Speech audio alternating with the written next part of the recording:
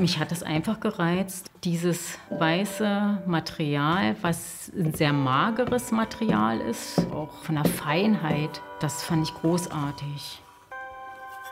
Also zuallererst beginnt es im Kopf mit einer Idee, mit einem Stift auf ein Papier und von dieser Zeichnung mache ich mir eine Vergrößerung, weil das Porzellan ja schwindet bis zu 17 Prozent.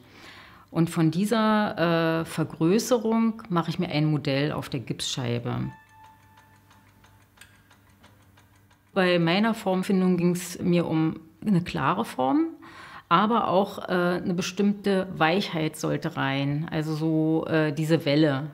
Der Becher musste sehr gut in der Hand liegen und vom Becher aus bin ich dann weitergegangen und habe die Formen angepasst.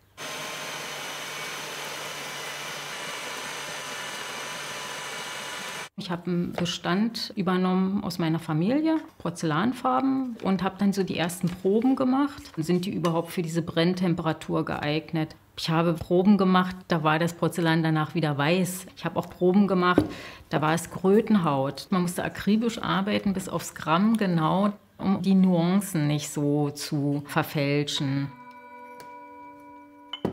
Ich habe ja ein, ein, Handgießverfahren hier und durch diesen Modellbau, was ich auch alles erst im Studium äh, gelernt habe, habe ich mitbekommen, wie exakt man arbeiten kann mit Porzellan.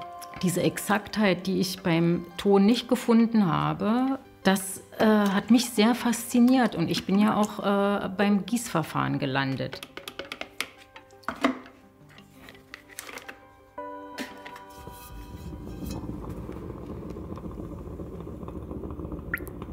Ich gieße unheimlich gerne. Also dieses rohe Material, dieses flüssige Material, beziehungsweise wenn es dann angezogen ist, dieses lederharte Material in den Händen zu halten. Also mir ist dieser Gießprozess, äh, dieses Eingießen, die Form bewegen, dieses Ausgießen, dieses Ausnadeln, also direkt am Material bleiben, am rohen Material, plastischen Material eigentlich noch, das ist mir das Liebste. Also das, da freue ich mich immer, wenn ich gießen kann.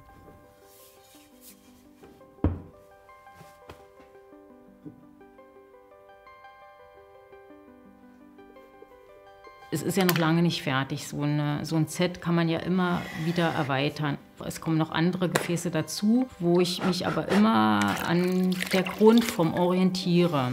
Ob ich sie jetzt umdrehe oder weit aufmache, das weiß ich jetzt noch nicht. Ne? Aber ich werde mich immer an dieser Grundform orientieren, solange es in diese Kollektion passen sollte.